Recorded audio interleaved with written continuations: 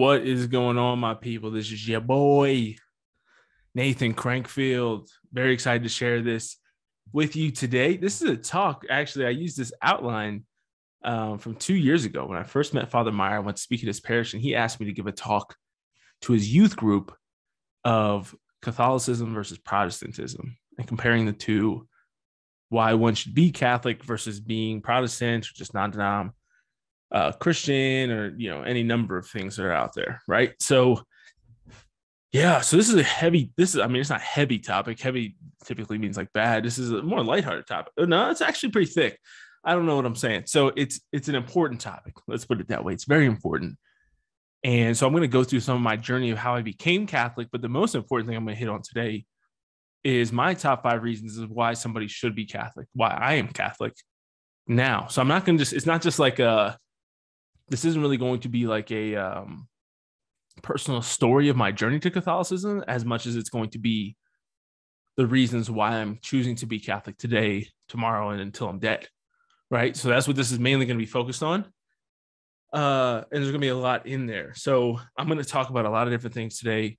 Um, again, just first and foremost, you know, I always say this stuff at the end, but I'm trying to get a little bit better at repping different things. But first, I want to encourage you if you have not gone and either subscribe to the podcast or left us a review, I highly encourage you to do that. I saw that we had last year 119 people listen to our podcast more than any other podcast, and we don't have 119 reviews. Now, as I continue to say things that piss people off, as this podcast probably will, I get like either one or five star reviews. That's pretty much all we get. So if you don't think it matters, it does. If you want other people to hear this, if you do enjoy the podcast, um, know that as I continue to try to share the truth, um, and to be bold in my faith and in in the things that we believe. Um, that there's a lot of negativity that kind of bogs us down. So if you can help counter counter that, uh, it's greatly appreciated. So I get a kick out of going on seeing the one stars. Um, and again, like I, I don't do this to like try to grow it to 10 million people listening. Whatever happens, happens. But you know, we still want to try to fight against the one star reviews that people just give us because they don't agree with what we say. So, so there's that. Um, but Catholic versus Protestant, you know, one of my favorite quotes about this, uh, this topic here is I don't know who says it or where it came from. Um, let me see if I can let me see if I can find it real quick.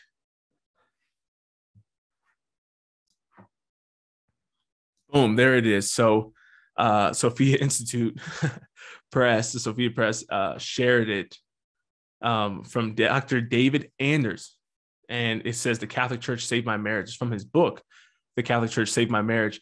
And it says poorly formed Catholics become Protestants and well-formed Protestants become Catholics. And so that's somebody who converted to Catholicism. Um, and I think there's a lot of truth to that. You know, if, if you look at people like I was looking at this actually like a New York Times article from way back. I don't know when it was from. It's in their archives though. And it says, you know, Cardinal John Henry Newman, G.K. Chesterton, um, Thomas Merton, Dorothy Day have uh, major biographies and have become um, converts to the Catholic faith, many of whom were Protestants before that, mainstream Protestants or, or members of mainstream Protestant churches. And so uh, there's a lot to that. Now, my journey, if you remember, I'm going to give it really quickly. So I was baptized Lutheran. My dad was Baptist. I went to a Methodist preschool, kindergarten, started Catholic school. At 13, became Catholic. I always say that was kind of more of an emotional thing. Like I was just really drawn to it, and and we uh, weren't going to church as much by that time in my life, and so I was going to church mostly at school. So I was most exposed to Catholicism, going to Catholic schools. In college is where I feel like I had my real intellectual conversion. So my journey in college was really kind of, I took it. I took college as an opportunity in in most areas of my life to kind of clean slate and just kind of start from scratch and be like, who do I want to become? Who is God calling me to be? How's He calling me to live? And I was really drawn to a lot of social justice things in that time, which is why I'm trying to remember what I have on the schedule. I don't know if it's next week or sometime soon. I'm releasing my podcast on why I'm conservative and that whole journey, which is I think is going to be uh, another really fun one to record. Um, but you know, uh, I I was really social justice driven and loved like praise and worship music and all that kind of stuff. And I still like some I still like some of that stuff now, but uh, that drove me to really look into a lot of evangelical churches and some of those big, you know, mega churches. And we had one right down the road in Frederick, Maryland. I can never remember the name of it. Um, but I went there a decent bit when I was in college and I looked up a lot of information to try to better understand what are the differences between Lutherans, Methodists, Baptists, et cetera, right? And I think it's something that we don't really do a good job. I think we don't do a good job of forming Catholics in general, right? I think we fail in a lot of ways um, in church formation, but that's one that I think a lot of people don't really know about. And so it doesn't help when people get out and they get more drawn into one or the other. They start dating somebody who is Baptist or Methodist or non denominational, right? Because if you're not formed in your Catholic faith and you don't know what's wrong with the other churches, you're going to be really easy to fall into those. And so as I go through these these five reasons and the rest of the stuff that I'm going to share today, I think it's really important to understand a few things to lay some groundwork. Right? So as you know, if you've listened to this podcast before today, I'm not somebody who likes to strive to be like politically correct. I'm not going to strive to sugarcoat things that I think are true. Obviously, I don't want to like, I'm not going to be like, all Protestants are going to hell. I'm not going to teach anything that's outside of the catechism or that is just absolutely false, right? So I think it's important to, to kind of lay that out. Um, that I'm not going to like try to be super nice. I think it's one of the problems that we have today. I think a lot of Protestants don't become Catholics because we in the church have this kind of approach that whatever, like we all, it's all the same thing, right? We all worship the same, worship the same God, and that it's all basically the same. And I think that that's really sad that a lot of people miss out on so much goodness that's offered by the church, namely the sacraments um, and the fullness of the faith, because we're like so nice and afraid to like call things what they are. Back in the day, when people like denied the Immaculate Conception of Mary, we called them heretics, right? Like, and we were like pretty harsh on heretics back in the day. Um, back in the day, when people denied the true presence of Christ in the Eucharist, we called them heretics, right? when people said you don't need to go to confession, like that that's wrong. That was heresy. The only thing that's changed with that is over is time, and we got a lot nicer. Now I'm not out here trying to tell everybody that you're a heretic. What I think is true is this next quote that I want to share that I'm pretty sure comes from Fulton Sheen. Um, that basically essentially goes like this there's only 10 people in the world who disagree with the Catholic Church. The rest of them disagree with what they be- they think the Catholic Church teaches. And man, I tell you what, like I've I've dated Protestants in the past, had a lot of Protestant friends, especially when I was in the army. I was very involved with a lot of Protestant stuff. Um, and if that's not the truth, man, I tell you what, like when I got to asking people, especially the non-denoms, about Catholicism, like it was amazing to me how little they knew. And now this is one of the reasons why I'm so mind blown by that is because like it was really crazy to me to see Protestants in the army who I knew were patriots and conservatives who knew nothing about church history or the Catholic Church. And so I'm like, if you, th- this always like blew my mind. There's going to be several things I'm going to share here that just like blow my mind about how people are Protestants. Not everything. I don't think that every Protestant is like stubborn or stupid or like ignorant. I'm not saying that, but I think that it's amazing to me how satisfied they can be with like very little information and just kind of take things. There's a lot of assumptions that Protestantism is built on, right? Instead of like history and facts and, and scripture, even.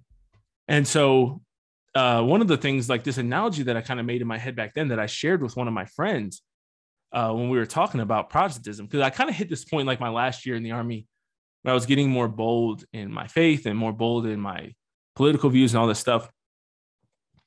And I I stopped, I started speaking up when people would say when I'd be in conversations with people and they'd be like, "Yeah, it's basically all the same, right? Like we all worship the same Jesus." I started being like, "No, it's not the same." Like what what you do on Sunday, what I do on Sunday, it's not the same. And if you're a Catholic, like obviously you want to be somewhat well formed to be able to read uh, up and have like answers to some of the basic things before you start saying that, right? Because you don't want to say that and then not be able to explain it but you do like i think have an obligation to say that most of the time right? There can be times right if you're at like your your grandchild's uh baptism or like some family event where it's just like not the moment you know what i mean? You're talking to your in-laws or something it's like you don't have to go like full you know guns blazing every time but eventually like you should share with somebody that that's not true right? Like if you believe in the true presence of the eucharist if you believe in sacraments and you go to mass because you believe in that then when somebody goes to a mega church on Sunday and, and you go to mass and they say it's the same thing, like you can't nod your head with that, right? Like you can't just be like, yeah, you're right. It is the same. It's not the same.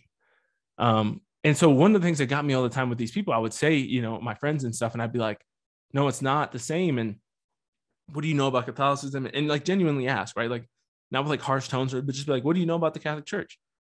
Um, and I'd be like, man, isn't it crazy how like we we watch, I was just watching a video last night on YouTube about like clowning people who don't know American history, right? It like the Jay Leno videos, right? Like he's interviewing people on the streets. I think it's so funny and depressing. It's both funny and depressing. It's terrible how dumb people are. But he's like, how many how many stars on the flag? And people are like, uh, 32. Like this one woman was literally like 32. And he pointed to a flag on like that was waving that was outside. And she was like, Oh, it's moving too fast. I can't count them. And he's like, Are you serious right now? He asked people to name how many Avengers they could name, how as many as they could, and then did the same with presidents and showed like six people who named more Avengers than they could US presidents. And I'm like, I know these friends of mine. I'm like, that frustrates you, right? Like it frustrates you that people don't know American history. That's why we see so much in, in world history, right? That's why we see the rise of socialism over and over again, right? In every generation. And uh I would ask him, I'd be like, man, the idea of reading the gospels and then jumping ahead, right? So like reading the gospels, even the letters, right? Let's say, you know, reading the gospels and letters. So let's let's let's give it some buffer room and say you you know Christian the Christian church from uh, you know, Jesus's birth up until the the end of the first century, right? 100 AD. And that's generous, right? I'm gonna give you some buffer room here with the, the letters and all this stuff. Acts of the Apostles. Now let's go and say you jump ahead then until 2004 let me see here. When was Elevation Church founded? Because we had a lot of elevation people in uh, North Carolina, right? Because it's in Charlotte. So I was in Fayetteville and we had a ton of elevation people. 2006. So let's say you jumped ahead 1900 years, right? Year 100 AD, you jump ahead 1906 years uh, for for those out there not good at math, that's 1,906 years of church history. And you pick up with Steven Furtick, who launched the church in 2006.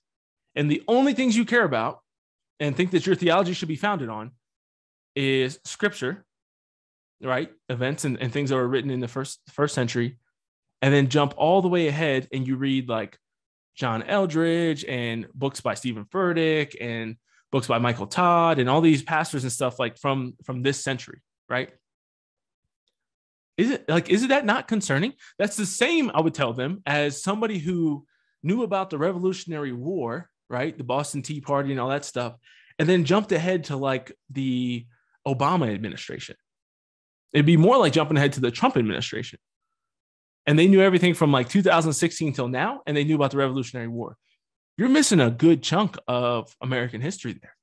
Right. And that's what a lot of like high schoolers kind of do. Right. Like, I mean, you kind of, we have all these young people who are like into socialism that were conditioned to hate Trump. And we see so many people that it's like, do you like when people are like, America's always been terrible? And it's like, do you not remember like World War One and World War Two, where we literally like saved the world? And now this isn't a, a pro America podcast. I mean, the podcast in general is pro America, but um, that's not what this episode's about. But do you understand the difference there? Like, or the, the analogy there is how do you how do you study something and care about something so much when it comes to your country? And you say that from the beginning, you know, I, you need to know have a basic knowledge of American history. We know say that for people who want to become citizens, people you hear conservatives, religious conservatives say to vote, you should be able to have to pass a you know American history test and all these different things. And it's like, well, what about your faith, dude? You don't need to know anything about about the faith. Like church church history just doesn't matter to you. So let me dive into these. This this leads me to my uh, perfectly um into my my first reason why I want to become Catholic. But before that, I have my five reasons, my list of five. Before I dive deeper into church history, dude, the number I, this is this is something that's so important. I'm so glad I just checked my list here. I the number one reason why I'm Catholic is because I believe that God wants me to be. Let me say that again. The number one reason why I am Catholic is because I believe that God wants me to be. I can't tell you how many Catholics who have fallen away to different churches that I've known. When you ask them, why did you start going to Elevation or to all these other churches? It's because I just felt really good because the music was great. Because I love I love Pastor Steven Furtick. He's funny. He makes things relatable. Uh, it gets me. I feel like I get something from it. Right. Everything is is I. It's very first person oriented, and that's the problem. The problem is that what a lot of times when people fall away from the church, it's always other focus. When you ask somebody like myself, Emily, like somebody who knows the faith, and you ask them, why are you Catholic? Why do you remain Catholic? There's reasons. And I'm about to give you my top five reasons. Um, what's his name? Peter Kreeft, Dr. Peter Kreeft, one of my favorite books. He wrote a book called 40 Reasons Why I'm a Catholic. And it's like 110 pages. It's a great read, very quick. Each each reason's like three pages. It's awesome. But the number one reason I'm Catholic is because I think God wants me to be. And I think you have to ask yourself, oh, this leads me to another story. There's so many stories. This is such a good topic, man. I love talking about this. Um, you have to ask yourself, why do I believe what I believe? Why am I what I am? And it's so funny because so many Protestants accuse Catholics, like especially your, your cradle Catholics, people who are, you know, baptized as a baby and raised in the faith and to some degree, say you're only Catholic because your parents were Catholic. And it's like, dude, why are you Protestant? Do you have like you don't even know what you're protest, protesting against? You don't even know what you object. And if you do know what you object, which I would say maybe 10 to 20% of them do, it's it's misinformed. It's very misinformed. And so let me tell you the story. This is one of my favorite tales too. I was on this is like movie movie stuff, right? Movie stuff. My life's a movie, bro. No, it's really not. It's uh pretty average, but oh, it's amazing life. I have an amazing life, but my life isn't a movie. I don't know why I get on these little tangents, but anyway, so there I was. No shit, there I was on a, a rooftop in Afghanistan, right? And we were doing some stuff, and special forces guys were coming back to like reload and all these things, right? And their chaplain happened to be there with us, and it was a Sunday. And so obviously, like I'm out in the field for like two to three weeks, and so there's no mass but I got my rosary out there, of course, and I had we had like a Bluetooth speaker, so I was actually able to listen to a previously downloaded Father Mike Schmitz podcast. So I listened to like his homily and prayed the rosary, and he came up on the rooftop while I was doing radio duty on radio guard and uh on radio duty. I don't know where I got that from, but I was on radio guard, and I, he comes up and the chaplain, he's like a major, and he's talking with me, and he tell it was like I didn't even bring anything up. He just like asked me what I was listening to and all this stuff, and I told him I'm like, yeah, I'm Catholic, I'm doing this, whatever. And he's like, oh wow. He's like, you know, I was actually raised Catholic, but I think I want to say he was Episcopalian at this point. Um, and I'm like, oh, cool. And he's like, yeah, I just really struggled, you know, with some like the teachings about Mary. And I was like, gotcha. And I, I mean, I wasn't at a point I don't think where I could have really debated this guy on uh Marian theology at that point, but I'm like, yeah, okay, you know, like I wasn't even asking questions. He's just like opening up to me. And he's like, he's like, but I don't know, man. I might become Catholic again someday. He's like, there's this one thing that really gets me that that always got me. He said, I had a history teacher. The guy wasn't even Catholic, but we were learning about like religions and history. And he said that every Protestant needs to have a good reason as to why they're not Catholic. Because this history teacher like acknowledged the fact, this leads me back into church history, the number one reason why I'm Catholic not the number one reason, but reason number one in my list. He said every good every Protestant needs to have a good reason why they're not Catholic because for 1500 years everybody was Catholic. So if you're not going to be the thing that was the thing for 75% of what your religion, your religion's existence, you should have a reason as to why you're not. And I'm telling you, man, if you ask most of them, why are you not Catholic? There is not a good reason out there for it if there's not an understanding of what you're rejecting. And i just i i feel like in this age of information people need to take this more seriously and be willing to like actually learn about these things and have reasons why they're rejecting them because i'm telling like this was heresy back in the day man. And heresy's a big deal. Heresy's a very big deal. The only thing worse than heresy is apostatizing and that's when you know and, and believe the catholic faith and reject it anyways which is what you see with priests and bishops in germany priests and bishops here in the us um, that know the faith have been trained in it and still reject it for all types of different reasons, which we're not going to get into today. But again, reason number one, point number one, I'm going to talk about church history. So I talked about my analogy already with US history, the importance of knowing history. I think all of us that are in the church typically would agree that like knowing history is important, generally speaking. Now, uh, one thing that I love about history, uh, another thing that I love, another great moment I had was have you ever been in a Lifeway, the Christian, they're like Christian bookstores, right? It's like a Christian uh, Barnes and Noble, but much smaller. And I, I pulled up this the same thing that I found one time in a Lifeway. And Lifeway, they have some Catholic stuff, but they're definitely like it's definitely Protestant, right? Like it's definitely dominated, heavy Protestant. You're not gonna find like images of Mary and stuff in there, but you'll find like some Catholic books and Bibles. So one time I was looking at this chart, right? And they had this like big chart. And I don't know if it was for like religious studies or whatever. Like, I don't know who the hell would buy this thing, but other than Catholics, I almost bought one. I wish I did sometimes. And it was this chart, and it was re- actually really cool. It had like a breakdown of what different churches believe and different denominations, right? So on the left hand, the first column, uh, you can imagine this. It was like Catholics, Lutherans, Methodist, Baptists, right? Anglican, um, Episcopalian, Presbyterian, non-denominational, evangelical. Um, what's the oh Pentecostal? I was like, what's the snake people? Um, the snake people is not a nice way to describe them. I apologize. The uh, sometimes they play with the snakes though, but they're not snake people. That's not kind. But it had all the different denominations, and it would have like different columns had different topics, right? And it was like, what do they believe about salvation? What do they believe about communion? What do they believe about forgiveness of sins or scripture? All these different things, right? And there were two things that really separated the Catholic Church from the rest of them. The first one was that the Catholic Church believes in scripture and tradition. Um, it's just not entirely based on scripture. And so I'm going to talk about that in a bit. But the other one that I thought was really wild that Protestants would be willing to put on their on their poster was it talked about who created the, that denomination um and what year they created it.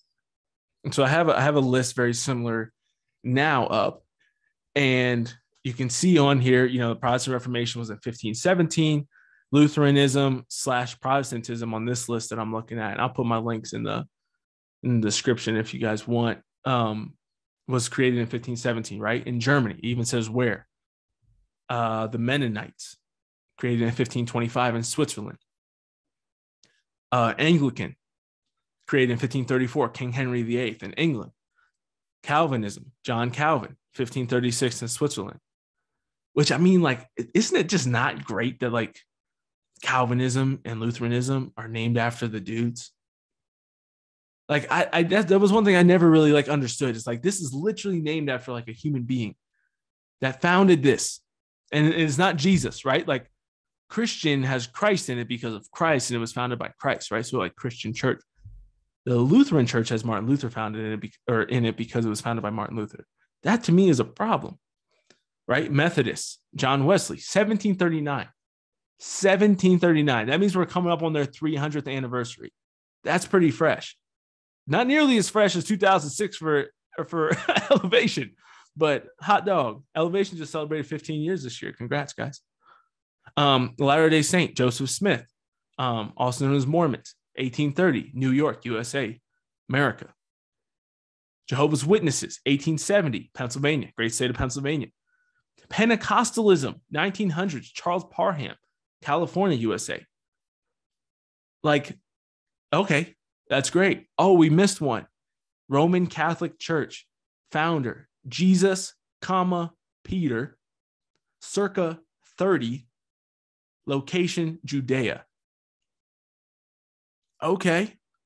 Okay. Like that that in and of itself, let's just start there. Let's just let's just kick it off with that one. And I, I found this dude, I found this on this poster, and I'm like, bro, this is literally like Protestants buy this. Like, how do you buy like these are some of the things, guys. I'm telling you, like I, I'm, I just look at, it, I'm like, how? Like talk, how though? Like how though? How? How do you do it? How do you look at that? Dog, Roman Catholic, Jesus Peter, circa 30, Judea.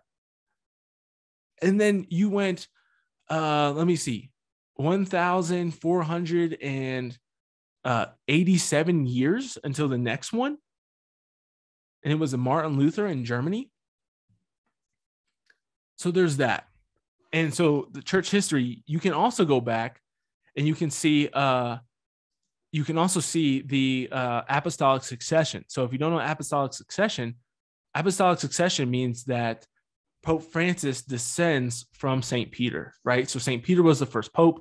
We look at that in scripture when Jesus says, uh, changes his name from Simon. He says, You I now call you Peter, which means rock. And on this rock, I will build uh, my church, right? And so we believe from that through scripture and tradition um, that St. Peter was the first pope and and that that website by the way that i was on was not it, it's religioustolerance.org but you can find this list on a many different things and places and this is not i mean i don't even know this isn't even like a christian website right this is just founders of christian faith groups you can find this everywhere there's nobody that that that'll tell you that that lutheranism was founded by jesus and i mean it doesn't this doesn't make sense right like if you know anything about history at all you know that the Protestant Reformation was a thing, and that's what led to all of Protestantism. Now, Pope Francis was uh, became Pope March 13th, 2013. Before him, we had Benedict XVI. Now, I'm not going to Gospel of Matthew you and go through this whole list because it's actually even longer than uh, the genealogy of Jesus, um, names wise. But you can literally scroll on this list. Again, this is even a Catholic website. Um, and you can see Peter, after Peter was Linus. After Linus was Anacletus. After that was Clement. After that was Evaristus. And it literally scrolls all the way down. Like there's not a gap. Right? Boniface, uh, John the First, Boniface two. Boniface was popping back in the day. Boniface four, John the Fourth coming up. Like you can see who was Pope in year 752, Stephen the Second, right? who became pope in 18 or 817. Like you can literally look on the list and see it, right? So you can go through. And were all these popes great and wonderful men and all of them saints? Absolutely not. Right? We had some horrible saints or how are not horrible saints, horrible popes throughout the years. Um, but that's also one of my other points. Not only the history of the church and the good stuff, but what about the bad history? One of my favorite quotes, I think I first read this in Letters to a Suffering Church by Bishop Barron, I think he has this quote in there. I should have looked it up so I could have it perfect. But I tried to find it and I couldn't before I started this. But it's a quote by some like Catholic thinker, and he he says he's being asked about like all the evil and like negativity in the church over the years, and he's like, if that doesn't guarantee uh, that we're the church that Jesus talked about when he said the gates of hell will not prevail against my church. Um, when Jesus in Scripture talks about having one church, when he prays to the Father that we'll be unified that we will be one. Um, when in in the in the creeds, when we say I believe in one holy Catholic and Apostolic Church, the creed that's also said in many Protestant churches. Um, we believe that because even with all the horrific violence, infidelity, abuse, and terrible things that happen in the church, it's still around. Dude, you know how many like countries have come and gone, empires have come and gone in the last 2000 years? like religions that have ebbed and flowed, religions that have existed throughout time that have ebbed and flowed and kind of died off and things like that. Now imagine if they had this horrific track record like the Catholic Church does. Right now, I'm not going to straight up dog the church, and I know a lot of people like to focus only on the negativity. The church has also fed more people, clothed more people, taken care of more sick people, educated more people than any other organization in world history. Right. So it's been a global force for good um, much like the U.S. Navy. Uh, if you remember that commercial, it's from a commercial. If you didn't get that, but we've done that. We've done an incredible amount of good, right? The saints and things like that throughout the years, and just regular church. You know, the unnamed saints in heaven as well. But we've had a we've also had a lot of evil and and and scandal and corruption throughout the church history. And it's like a voluntary organization. Like, how does it remain? You mean to tell me that if Elevation Church like Elevation Church, if they had the, the issues that we had, you think they will be around in 2000 years? That's why I think these non-denom churches have to have this kind of like, like the, the church is so fluid to them. It can just kind of become whatever throughout time or whatever. It's like, it doesn't really have to like be anything specific because it kind of just ebbs and flows because you know that elevation after Steven Furtick is even going to be around. Elevation is going to live for one lifetime There's been so many popes. You can scroll down here throughout the 2000 years. So many of them. We still have a pope today. And sure, he's a little nutty every now and then, but this isn't a podcast about Pope Francis. We're here to talk about apostolic succession, the bad history of the church and the saints. Matthew Kelly in his books a lot of times talks about that. Says that we're we fed more people, clothed more people, taking care of more sick people, educated more people, um, baptized more people than any church in in any any not any church, any group of any organization, any group of people in the history of the world, which is pretty wild. So that's pretty awesome. Um, if you want to read some dope uh, U.S. history, learn about healthcare uh, and um, education system in the United States and how much the Catholics influenced that. You want to learn about feminism and the honoring of women. There's no religion in the world that honors a woman the way that the Catholic Church honors Mary, and how much that influenced the world and actually led to more rights and things like that for women. Um, it made more sense to Catholics than anybody else because Catholics were the ones that prayed the rosary, We're the ones that honor Mary the way that we ought to. When she says in scripture that's quoted in scripture in Luke's gospel from this from now on all generations will call me blessed. The almighty has done great things for me and holy is his name. When she says that in the magnificat if you watch the chosen christmas special you saw this. Like we actually do that. All generations will call me blessed. It's in scripture. And people and, and other churches just treat her normal the mother of Jesus, Mary the Virgin, like a kid, you know what I mean? Give her a little bit, a little bit of respect, but they won't actually treat her the way that she ought to be treated. You know, the, the greeting of Elizabeth, the mother of my Lord has come to me. Who am I that the mother of my Lord has come to me? And then if we say she's the mother of the Lord, they're like, that's not true. And it's like, dog, it's in scripture. That's all you believe in is scripture. You still deny that. It doesn't make a ton of sense. Boom. Speaking of scripture, I'm not even looking at my list sometimes in these transitions. I'm telling you, people, I'm on it today. The Lord is the Lord is good. That is for sure. All right. So now we're going to talk about scripture. Point number two, scripture, right?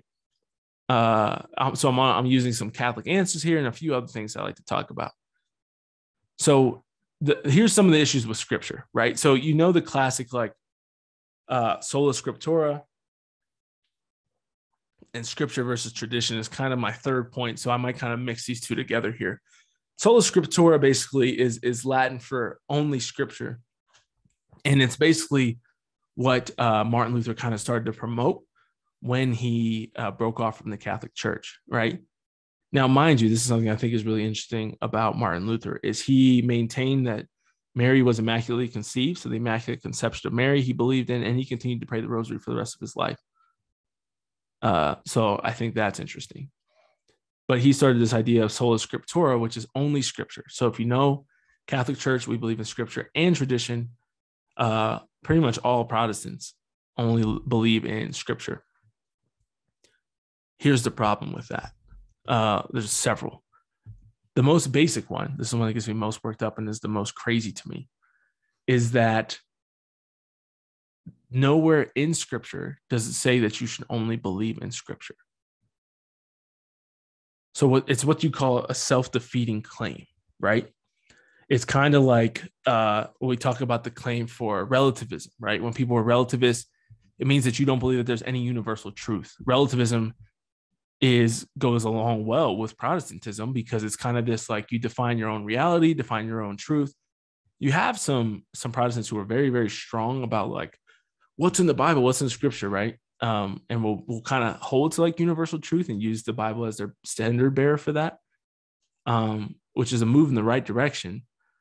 Uh, but relativism, I think, has come a lot out of the Protestant Reformation of kind of like I can decide and interpret things for my own, uh, and I can have my truth. I can have my interpretation. You can have yours, and we can live together that way, right? It's liberalism.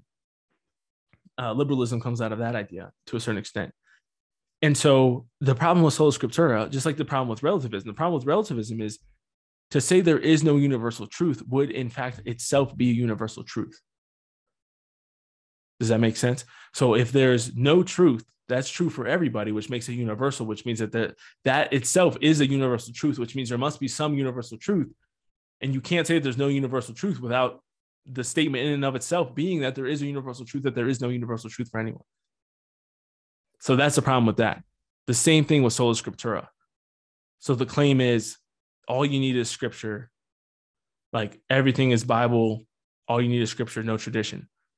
The pro- the first problem with with that is that the active form of it um, is that nowhere in scripture does it say, or I guess it's the passive problem, is that nowhere in scripture does it say that all you need is scripture, that everything should be based on scripture.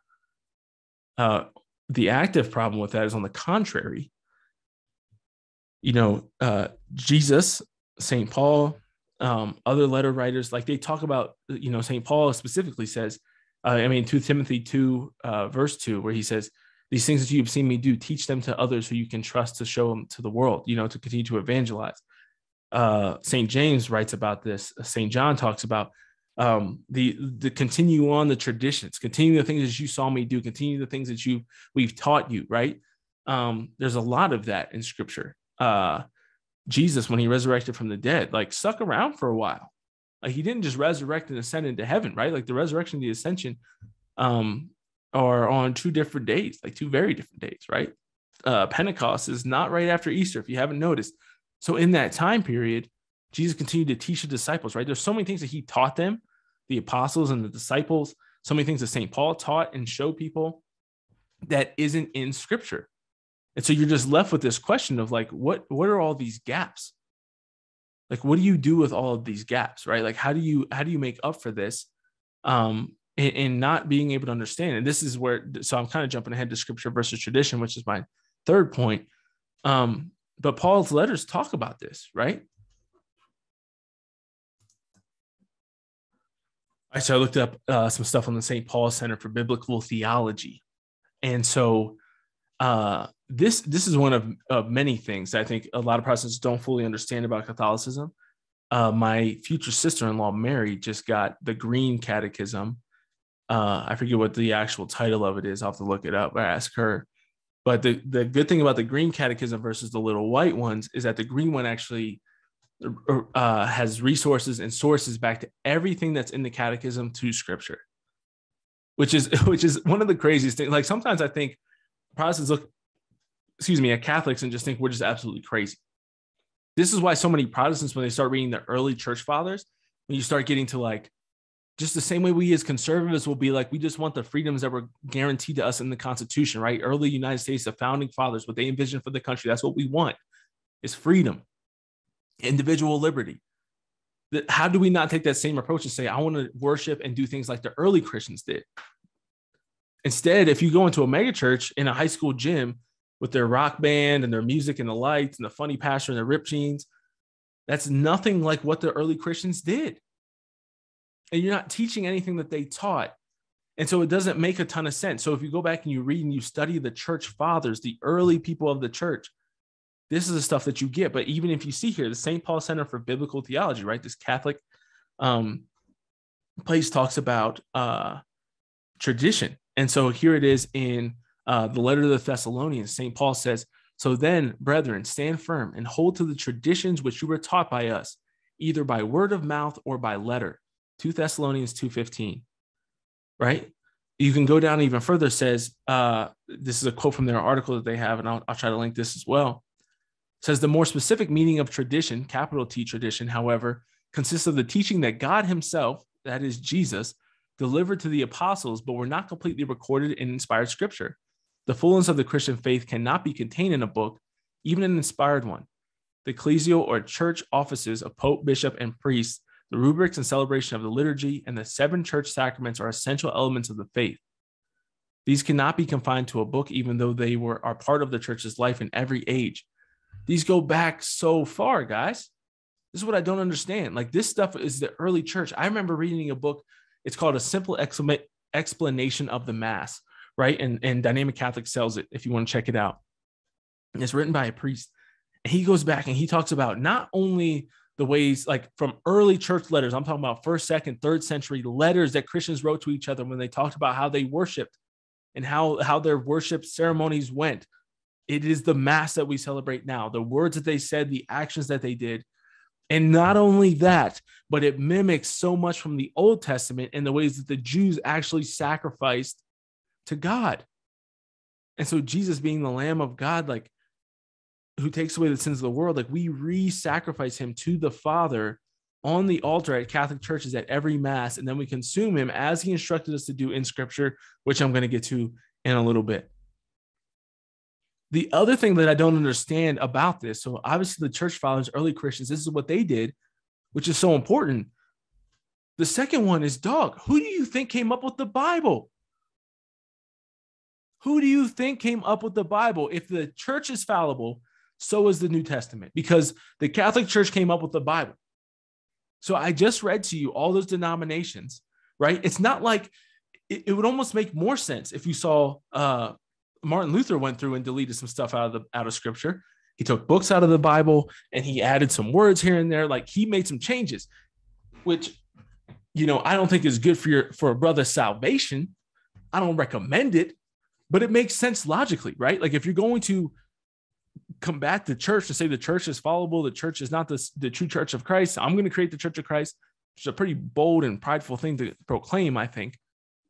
Then you must be uh, you must you must have issue with the with the Bible as well, because the Bible, uh, like obviously the Old Testament books were written before Jesus, but all the New Testament books were written roughly by the end of the first century AD. So now I'm reading from Catholic.com, also known as Catholic Answers, answering the question who put the Bible together and what year.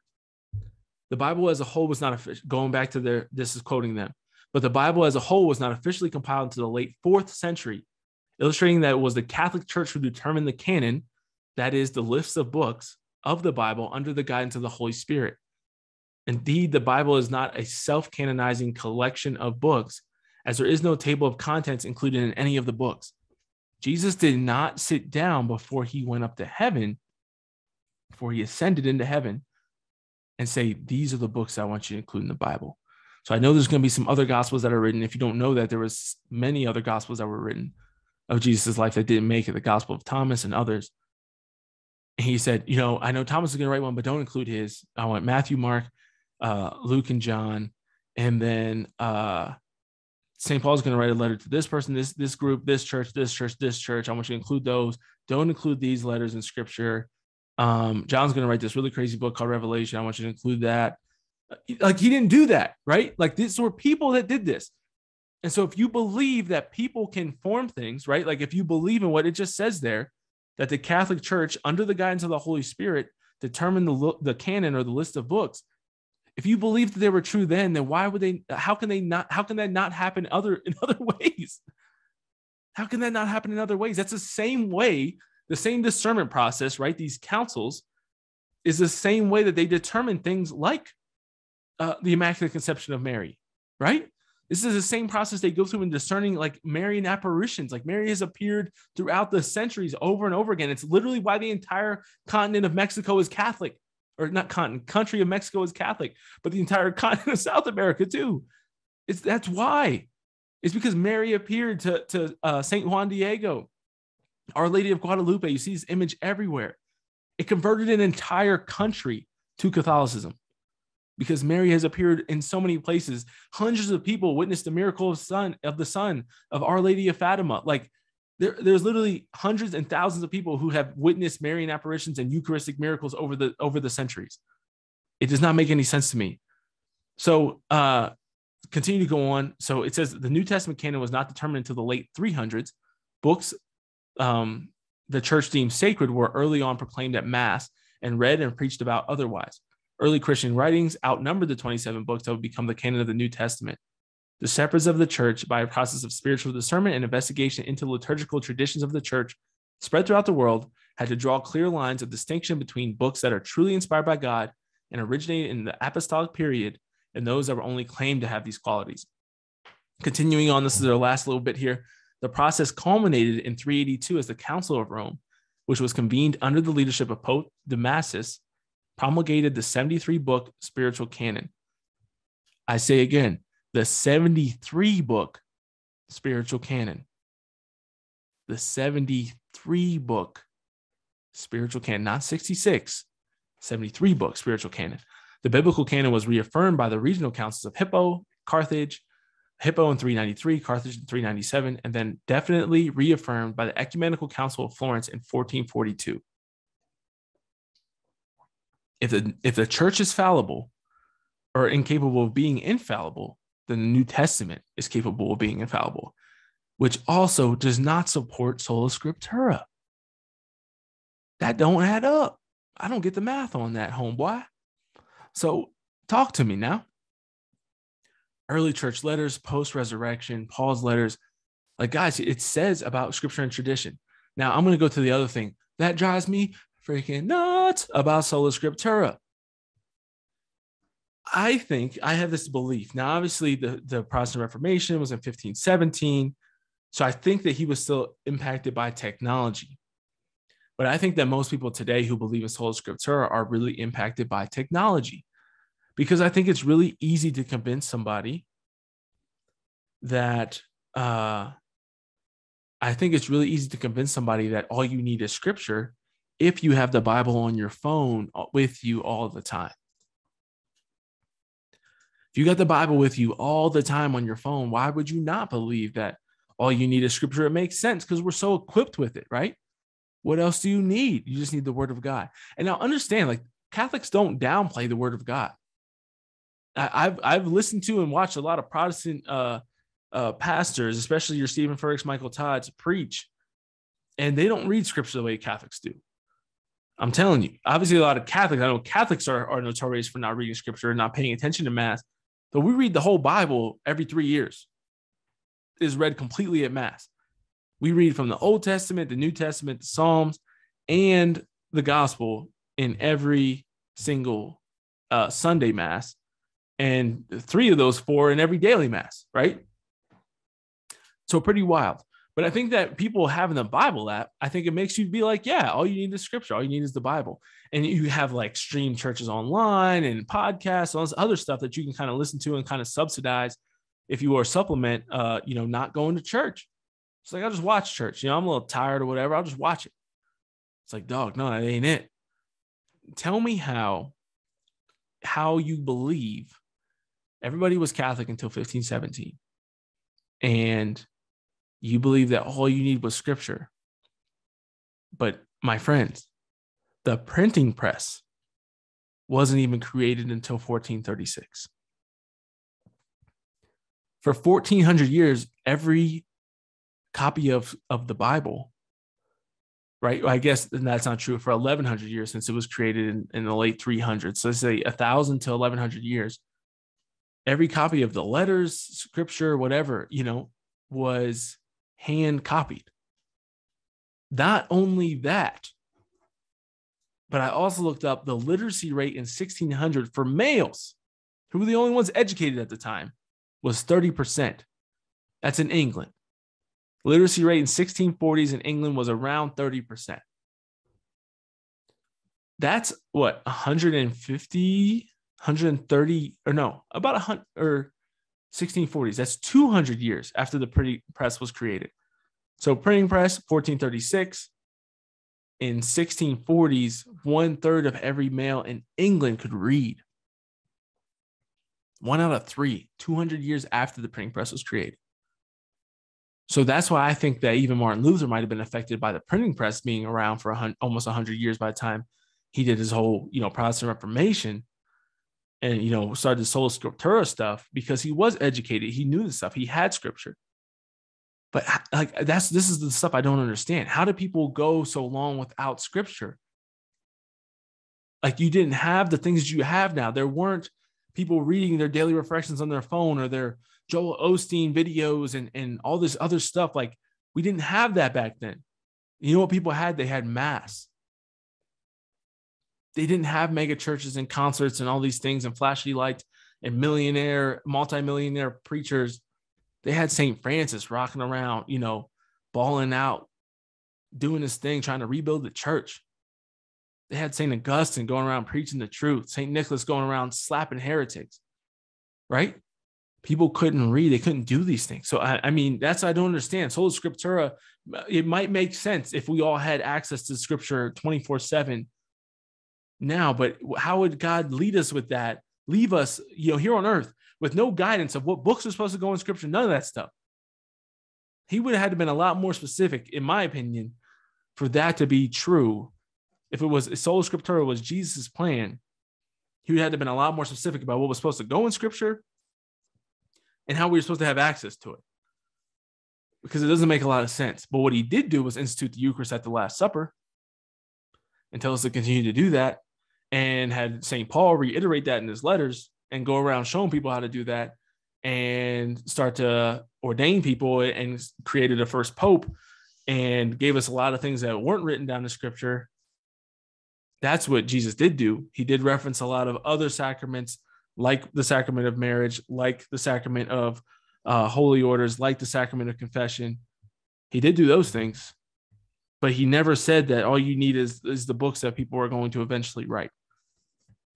He, he said that zero times, like zero, zero times. Boom. All right. So then moving on diving back into scripture and things that Jesus said. So I don't know. This might be a long episode, man. I'm already pretty deep in the game, but uh maybe we'll just continue on. We'll just Charlie Mike continue mission, as they say. So I'm going to open up here. If you want to, if you have a Bible with you, or if you have your phone with you, because now in the 21st century we have the Bible on our phones. Go ahead and open that bad boy up to John, the Gospel according to Saint John, chapter six. That's six for those of you who don't speak Spanish. Now, what I truly encourage you to do is two things. One is pray with this. Two is uh, watch this video. It's called like the hour that will change your life by Father Mike Schmitz. It's from Seek in 2015. We were in Nashville. I was there. Life changing talk. I was really struggling with like belief in the true presence of the Eucharist up to that point until I heard this talk. And after that, I never, nothing was the same, as Drake would say. Everything was different. So this is what he does. He's going to do it much more in depth in that video. I'll put that video in the show notes as well. Link to it here on YouTube if you're watching me. If you want to see my ugly mug, as I said, all these different things.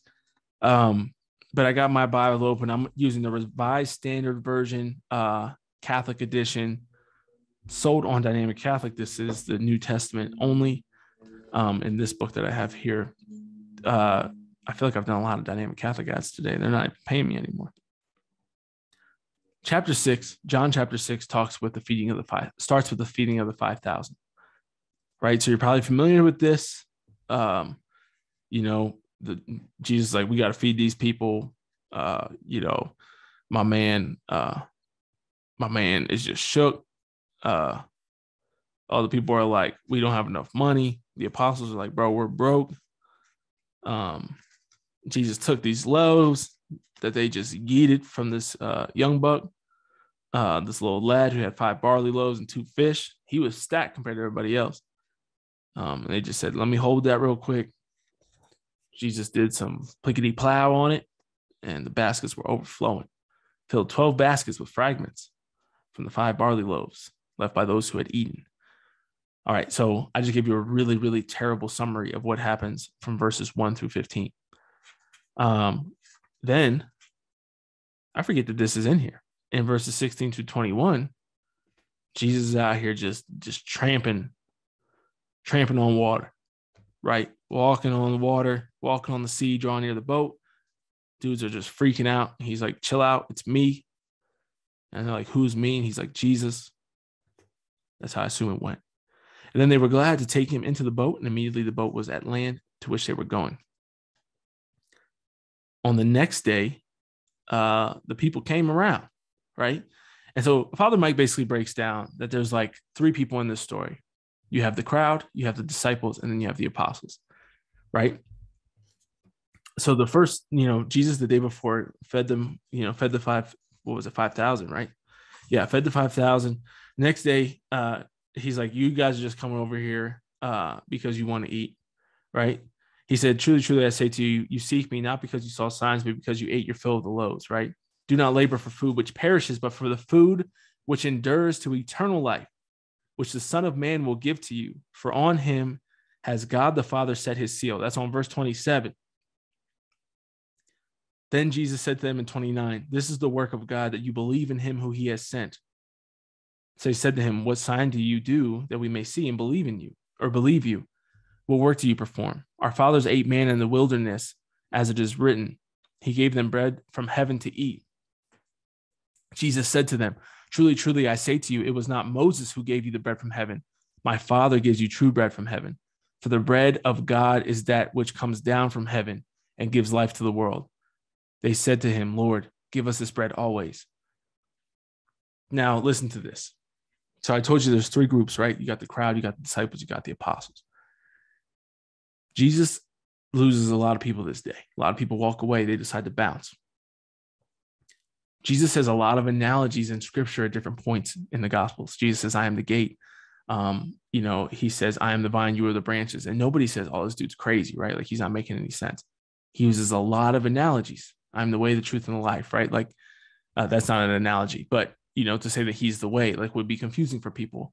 Um, but nobody says like you're not a road, like you're not a path, like you're a person, right? Uh, nobody says you're not a gate, you're a person. Nobody says you're not a vine, you're a person.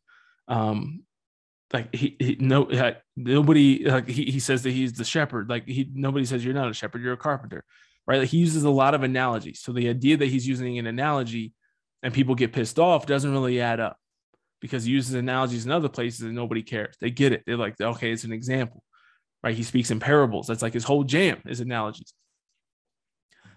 But Jesus says to them after they say, Lord, give us this bread always. Jesus said to them, I'm in verse 35, 635 here.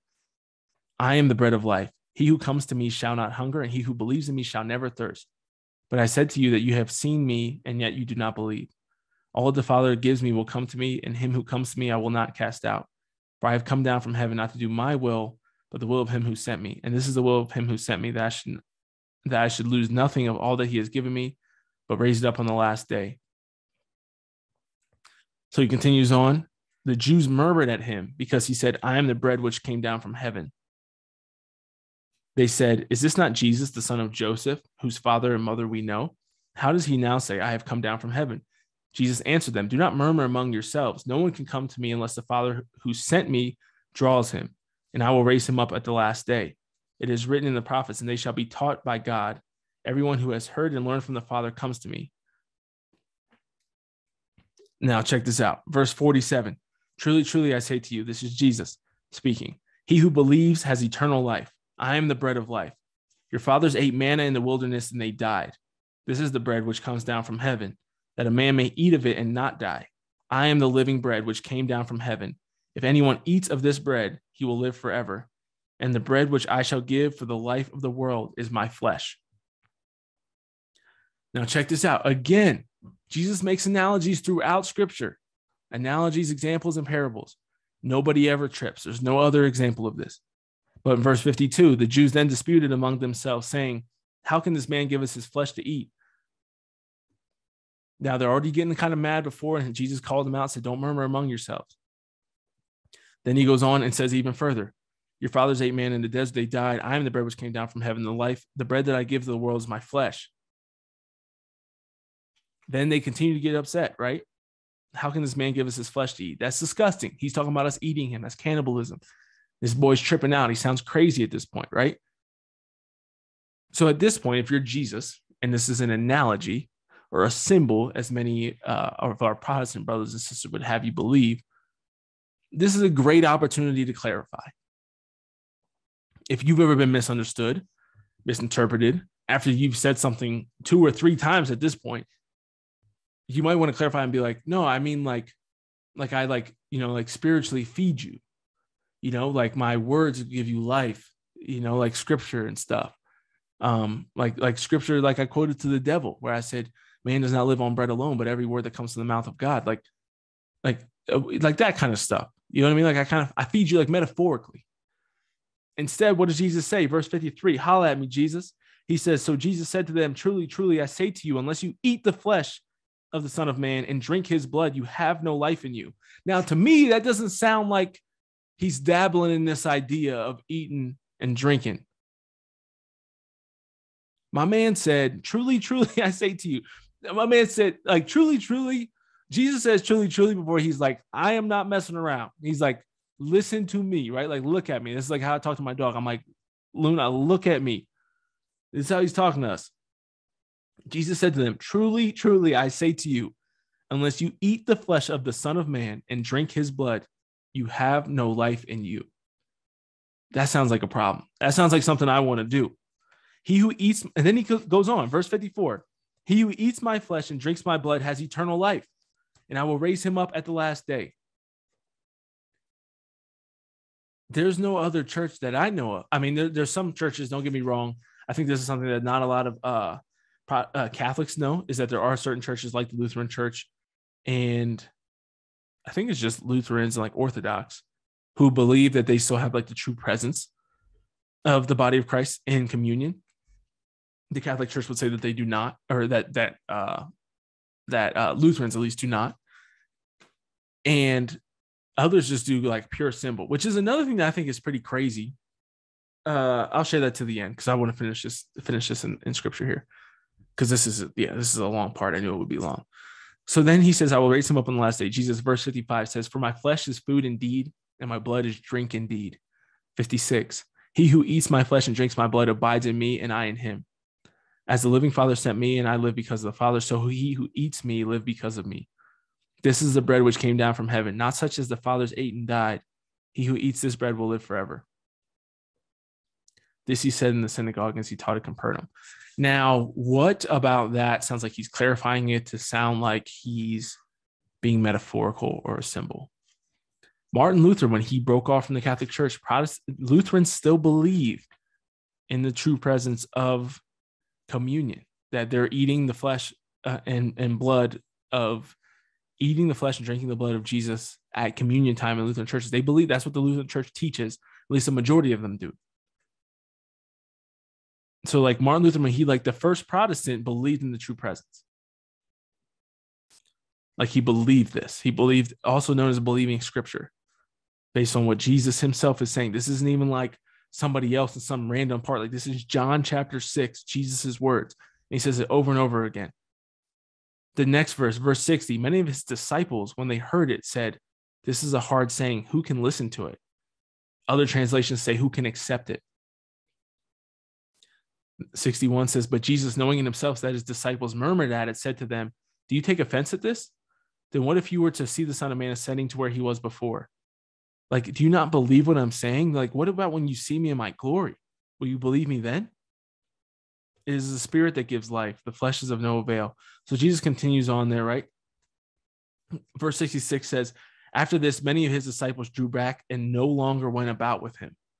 So the crowds murmured and fought about themselves. His disciples, you have to understand that his disciples, dog, his disciples are the people who like left stuff to follow him. Like if you've watched The Chosen, these are the people who like gave up things. Like these weren't just some people, these weren't some passerbys, right? Like the crowd might have been some people who just got fed, but the disciples had been with my man for a while. Like they left their jobs, their families to follow him. Jesus then took looked to the 12 and said, Will you also go away? And Simon Peter, also known as the first pope, also known as Saint Peter, also known as the the, the original or the OG of uh of the papacy, the papacy, that was hard to get out. Saint, uh, Saint Peter said to him, Lord to, Lord, to whom shall we go? You have the words of eternal life, and we have believed him, come to know that you are the Holy One of God. Dude, I don't know how people don't believe in the Eucharist. I think if you like, this was really powerful when Father Mike goes through all of it. He does a much better job than I did.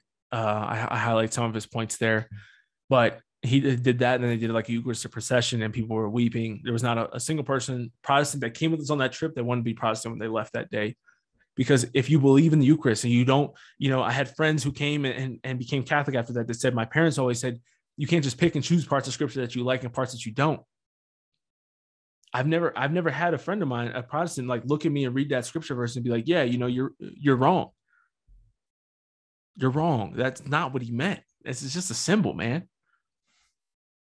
It's just a symbol. Now I got another podcast coming out here soon with uh, my man Noble Gibbons, and or I think it's the same week as this one comes out. I got to check the schedule.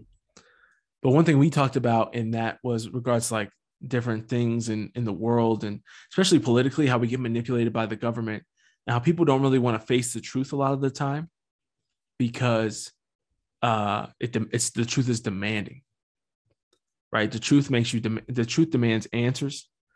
the truth demands that you change your life sometimes. And so that's why I think that a lot of times people don't want to look into this and people don't want to learn more about the church. People, I, I've always said that like, you don't have to be like worked up about defending the Catholic Church because the truth defends itself.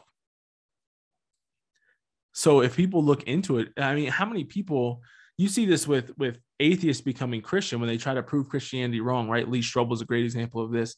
The case for Christ, the case for Easter. He's written a lot of books since then.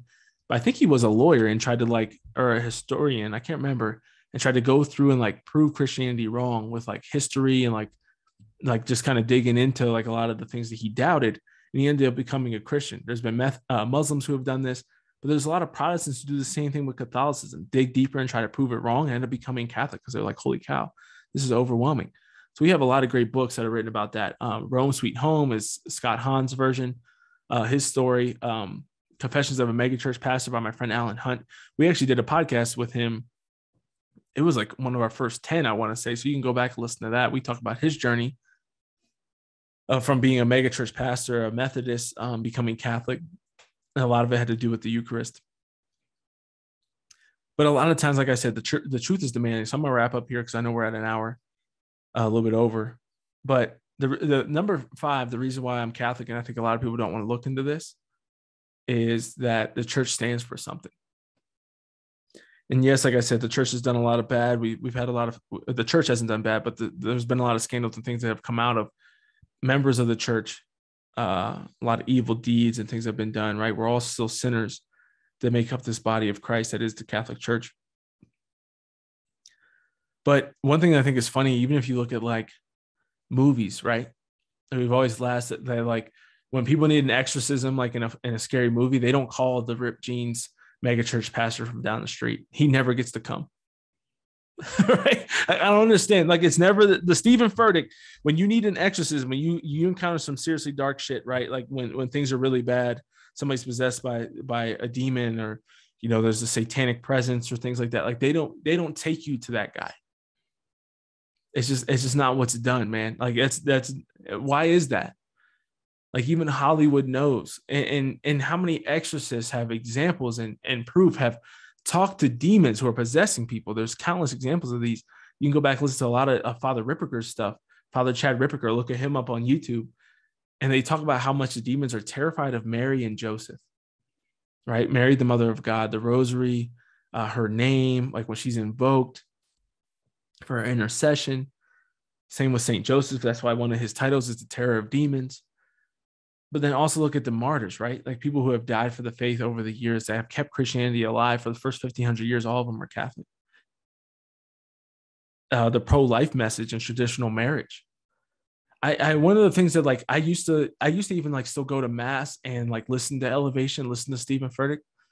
Um, and there's another podcast on uh, the spillover with Alex Clark, where she talks to somebody who used to be into like magic and um not just magic stuff like i'm not talking about like fun like sleight of hand magicians but like dark dark magic and uh like yoga and um like card reading and all that kind of stuff. And she talks about a lot of these mega churches and how bad they are. Now she has her problems with catholicism as well and i think she's a little bit miseducated about it but i had a similar experience as hers where you start to realize like the reason why all of these pastors, a lot of them, like Steven Furtick, who I listened to for years, like I'm not talking, I listened to him like twice. Like I've read three of his books and I listened to him for like three years, like almost weekly. And I was like, he never preaches on anything that's difficult. He never preaches on anything that's divisive. And Jesus very clearly and specifically in scripture tells us that he came not to unify, but to divide. That there would be mother against father, um, mother against son, sister against brother, you know, husband against wife. Like it would be divide. Like he's a divisive figure in history, right? Like G, like the real Jesus, not the nice like 21st century like politically correct Jesus, but like the real Jesus was divisive, and he said some divisive things. And I started to realize that my favorite priests, like Father Meyer, like Father Mike, um, like they they preach these pro life messages. They preach about the importance of traditional marriage. They preach against socialism and all of its evils. Uh, but you don't hear that from Steven Furtick. You can you can stay you can stay very much the same person you are and go to Elevation Church for years. And you can do that unfortunately in a lot of Catholic churches, but you can't argue that the Catholic Church doesn't stand against abortion. So many of the leading causes like the Students for Life, uh, like Abby Johnson, like Live Action and Lila Rose, um, are led by Catholics in the in the pro-life movement. Even even people who are fighting against the death penalty in the United States a lot of times are Catholics, compassionate Catholics. Uh, traditional marriage. I mean, the church is an ardent defender of traditional marriage, right? Not as much as we should sometimes, but we don't do any of that stuff.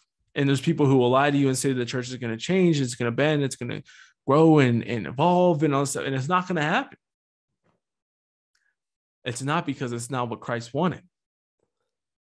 So I just started to realize, man, the church, like there's been 113 attacks since um was it July or November? I don't know. There's a list on the USCCB website. I was just looking at it last week of attacks of vandalism, destruction, spray painting, hate messages on Catholic churches. We've had like five in Denver, um, 113 over the last like year and a half. They don't they don't do that to elevation. Antifa doesn't go and, and spray paint and destroy and and rip up uh, pro life crosses and stuff like that out of Elevation Church's parking lot or their their their grounds because they don't do that stuff. And they make millions and millions of dollars doing this and preaching these messages of prosperity and all this stuff and like you can kind of live however you want. You can. They don't talk about uh, birth control. They don't talk about um, abortion. They don't talk about pornography. They don't talk about uh, living together before marriage, cohabitation. They don't talk about traditional marriage. They don't talk about any of this stuff. I, I personally, I mean, if, if, if Steven Furtick has talked about this, please send it to me. But I'm telling you, I listened to hundreds of hours of Steven Furtick and never heard him mention any of those things. I will give Michael Todd that he'll occasionally talk about like sex before marriage and things like that, but I've never heard him really preach a pro-life message. I see the same thing. I have the same issues with like Lecrae and all these um, Christian rappers who I love. I have the same problem with a lot of them.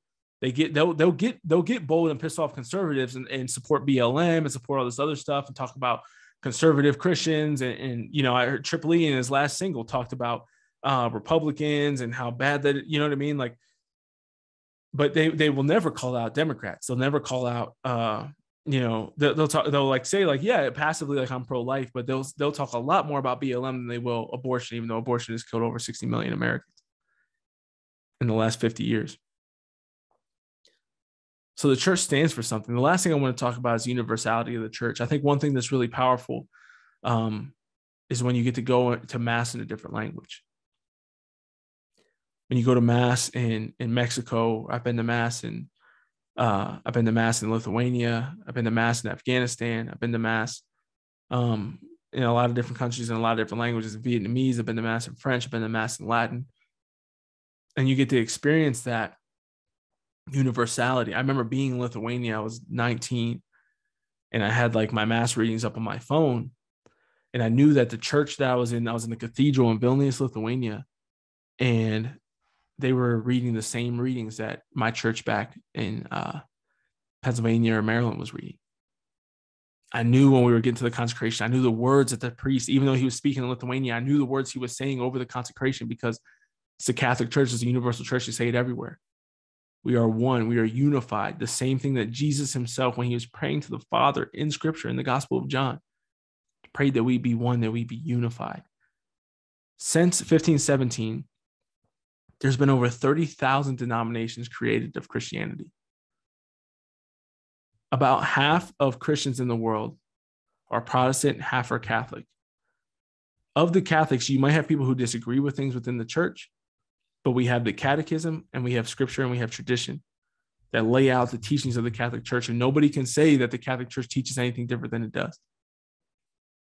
Of the other half of Christianity, you have Protestantism, which is divided over 30,000, I think it's over 33, 35,000 times, including every time this little new church starts and, and, and Steven Furtick is the Pope of Elevation Church because I think I always think that's so funny how, how Protestants will be like, well, the Pope, you shouldn't have one leader in this. It's like, what do you like?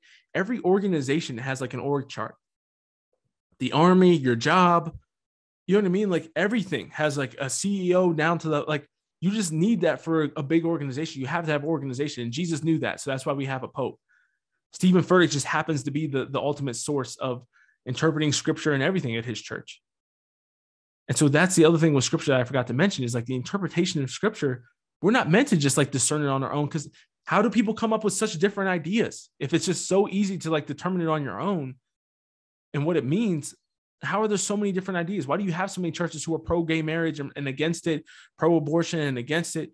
if scripture is so is so clearly understood and it's so easy it's meant to be just discerned by the individual why how do we how do we all read it and then come up with different different ideas and answers that's why we need the church we need the church to interpret scripture for us so that way i can check and give my benefit of the doubt to the church and say i don't understand this verse what does the church say about it and you can go back and read centuries centuries of church teaching on that scripture so i just want to encourage everybody if you haven't done the uh excuse me, the old uh if you haven't watched the Father Mike video, if you haven't looked up some of this stuff, um, I'm gonna link a lot of things in in this uh caption or whatever, you know what I mean? But uh check out if if you're listening to any of this anywhere, like it's gonna be on YouTube, it's on the podcast, it's on Instagram. Pray with some of the scripture, get a better prayer life. If you haven't downloaded the Hallow app, the Hallow app is the best way to pray um, or a best way to learn how to pray if you don't have a prayer life now. Uh, and you can't be a saint without a prayer life. It's impossible. And so just now I lay me down to sleep or bless us, O Lord, does not count as a serious prayer life. And I want you to be a saint. I want you to live the best life that you can live. Um, and so I encourage you to check out our link uh, to download Hallow. It's a great way to support us because we get a little kickback from um, when people use our link to, to download and use the free trial. Um, you don't even have to buy it, but if you just start a free trial, then it helps support the podcast. Um, and you also will help get a lot of benefit in your prayer life. So share that with people if you will. Again, as I said at the beginning, if you haven't left us a review, please do. It goes a long way, um, helps us get the message out. Share this message with somebody who'd like to hear it or who you'd like to hear it and uh, have some discussions around this stuff. Learn more about it if you're a Catholic who doesn't know these things and you're not formed on this stuff. But if you're a Protestant, what are you protesting against?